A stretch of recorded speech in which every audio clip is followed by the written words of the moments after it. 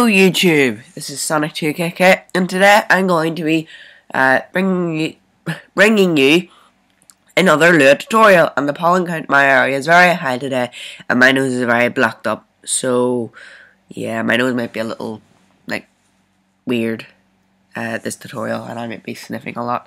But anyway pushing forward and I'm going to make a Lua tutorial and I plan to make a few today because I haven't made a Lua tutorial in about three days and that is a disgrace.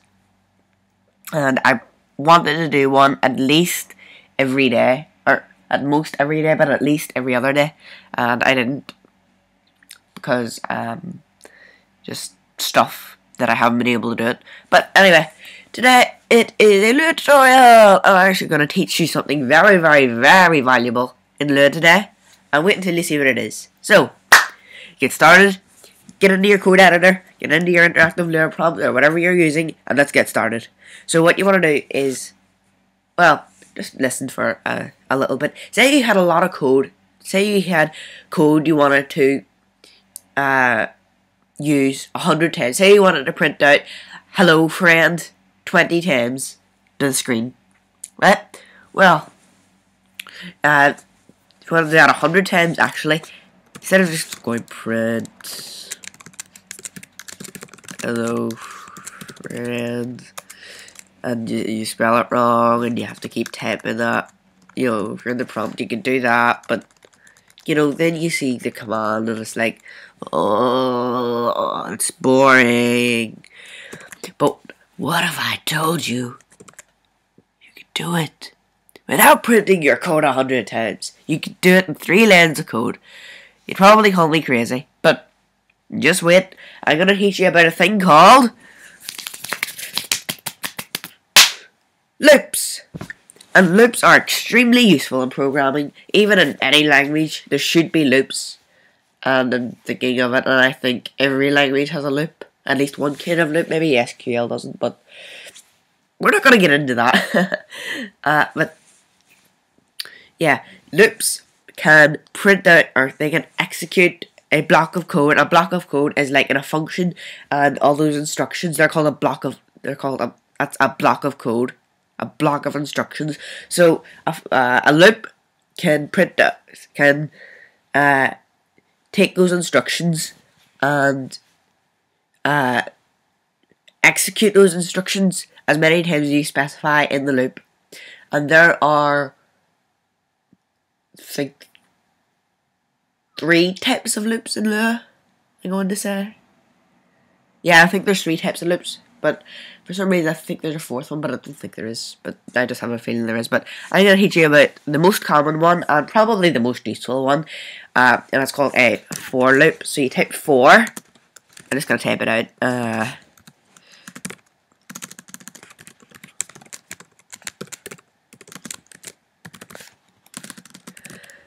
Why did I just type it out? Because it's going to be pretty confusing. Now, this, think of this as a new lane.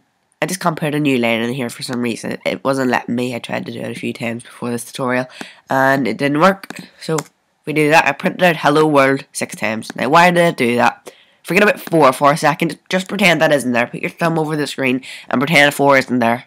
So what we're saying is, alright, look, we're making a variable, a temporary variable that's going to be clear, that's going to be deleted after we run the loop called i and it's going to be equal to 1 and you add 1 to i until you reach 6 so you do this you print out you print out hello world 6 times until i gets to 6 so i the temporary variable i it's going to be deleted after the loop is run uh, is equal to 1 and we're going to add 1 to it until we reach 6 and why whenever we add 1 to i or whenever this loop is ran so whenever we run the loop 1 is going to get added to i. We're going to add 1 to i. And that's going to uh, print out hello world six times. So whenever it's equal to 1 it prints this out. Actually as a better example what we could do is we could print out the value of i so 1, 2, 3, 4, 5, 6. I is equal to 1, then it's equal to 2, then it's equal to 3, then it's equal to 4, then it's equal to 5, and then it's equal to 6. So what are we doing? Just one more time. Um, this just ends the loop, by the way, you should know that. Um, so we make a temporary variable called i, so 4, just really just type 4 in there whenever you're making a for loop. Uh, i is equal to 1. i will be deleted after we run the loop and after everything's done. Um, and then until i reaches 6, do this. And whenever we run it once, we're going to check is i equal to 6? No, add 1 to it. Um, is i equal to two, uh, 6 now? Whenever it's 2? Nope. Keep going. Is it equal? Alright, is it equal to 6? It's 3 now? Nope. Is it equal to 4? Nope. Is it equal to 5? Nope. Is it equal to 6? Yes. And now that that's a, a good loop, but um, say you wanted to um, add like a certain amount to the loop. I think what you can do, I haven't did this in a while because I never do it. Um, yep, if you add another thing here, this says add 2 to it each time. So, uh, whenever it's 1, we add 2 to it to get 3, and then we add 2 to it to get 5, but if we add 2 to it, we get 7, which automatically ends the loop. And you can put whatever number you want here. You could even put 6 here, uh, if you wanted. Then you just get 1. And the numbers here, they don't have to be 1 to 6, and this doesn't have to be called I, this could be called uh, John if you wanted. I think. Um. Oh. Um. Yeah, no, no, no, no, no. Uh, because we're not. This is. This has to be called John. And we can do that. So, just. This is a variable, really. And this is a temporary variable. So. Um. Yeah. This gets deleted after you run the loop. And this is a temporary variable. So basically, the same rules apply to this as it would a normal variable. Um, how much time we got left? I've got plenty of time. So let me teach you about another type of loop called the while. Uh, I say it funny because of my uh, accent from where I'm from. Um, but let me teach you about the while loop, which is, if you can't understand my accent, while I suppose is how you would say. I, I don't know. I just say it funny. And th this one is really, really, really simple. It's almost as common as the for loop, but not as common. Uh, I don't use it very often. I don't really use loops very often in programming, to be honest, but you should. They are very useful and they save a lot of time. So while this is basically right, so hold on. Variable called i and set it equal to and then no no no no no no no no i is equal to 10 just that was way too many numbers. And then we type while i is equal i i is less. Oh oh oh oh oh. Oh I need to teach you about something first. And those are called comparison operators. And comparison operators this means is a number greater to, or no, uh, yeah, I'm gonna teach comparison operator. So we know about the assignment operator. This assigns this assigns something to a variable. But if we want to check to see if something is equal to a number or uh, a string, then we do this. So if we type uh, uh, is equal to 10 do print I Oh, you can't do that in the Right. So what this did is it says, alright, look, while I is equal to 10, do these instructions, and we print I, and we add 1 to I. This says I is the value of i is equal to whatever i is equal to now plus 1. So basically this means i is equal to 11. And we could just do y equals 11. Or i equals 11, sorry. And then that would, just wouldn't run. Uh, that's why you do i equals i plus 1. And that's what most people do. That is uh, the most common thing to do. Yeah. Anyway. Um... So what we can do is now we will set i equal to 1 and we're to teach you about I'm going to teach you about another one called the less than operator because this is the uh, equal to operator remember that and then this is the less than operator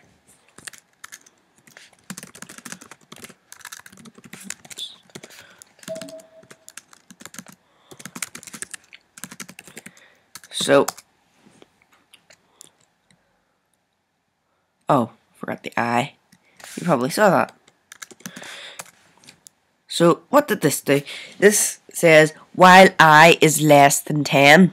So, while the, the value of I is less than the number 10, do this. And what did we do? We printed out the value of I and we added 1 to I every time the loop ran. And, right, so uh, i was equal to 1. So we printed that, right? Uh, then, so we ran the loop. i, what's i equal to? i is equal to 1. So that's less than 10. So do this. Oh, we're going to add 1 to i, so i is now 2. i is 2. Is it less than 10? Uh, nope. So do this, and we keep we kept doing that until we reached 9, because whenever it reached 10, is i less than 10? Nope. So we're not running on the loop. And the next one I'm going to teach you about is the less than or equal to operator. And this one's very interesting and this one's very common. Hold on, how much time have we got left? Um, yeah, we have a little time left. So, the less than or equal to operator. And basically this means if something's less than or equal to something, and if we did, uh, while, we need, can I need to rush here? Oh, i equals 1 now we got up to 10 because is i less than 10? Yep, until we reach the 10. Is i less than 10? Is i less than 10? Nope, but is it equal to 10? Yes. And then we have the greater than operator, which you can probably tell what that does. That says, is i uh, greater than 10? Which, in this case, it probably is. But, this is probably good. Yep, that's an infinite loop. Oh crap, that's an infinite loop. Oh crap, I knew that was going to happen. That's an infinite loop. That's one thing you need to watch out for, infinite loops. If you don't give something for the loop to stop, uh, then you're uh, kind of screwed. Really. So, I made an infinite loop. And to get out of this infinite loop, you hold in, you hold in control and press C. And then just clear all of that. And I'm, I, I'm still in there. That's awesome. So, um, yeah. That's what the greater than, and then there's greater than or equal to. You know what that does? It just tests if something's greater than or equal to 10. Um, and this will probably give it something to stop at, but I'm going to set i equal to 1. Um, and this will probably still make an infinite loop, I don't know. No. Yeah, because i isn't greater than or equal to 10. So, those are the conditional operators. And how much time we got left? Right, I'm going to try and rush this really, really fast. So, um, the do repeat until this... No, I'll save that for the next tutorial. So, thanks for watching, and I will see you in the next tutorial.